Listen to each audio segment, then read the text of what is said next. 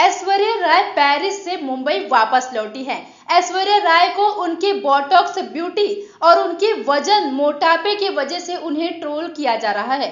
दरअसल आप सभी को बता दें कि ऐश्वर्या राय लॉरियल की ब्रांड एम्बेसडर हैं और late night Aishwarya Rai L'Oreal के इवेंट में पहुँची थी। इस दौरान ऐश्वर्या राय का लुक एकदम बदला बदला सा लग रहा था।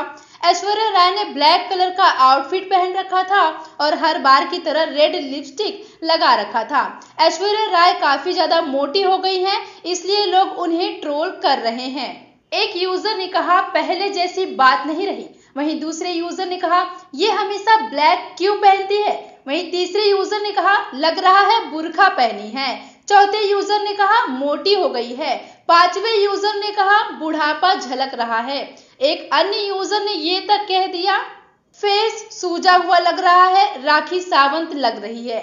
इस वीडियो में बस इतना ही। आप सभी इस वीडियो पर अपनी राय हमारे साथ कमेंट बॉक्स में शेयर ज़रूर कीजिए और इस चैनल को सपोर्ट करते रहिए।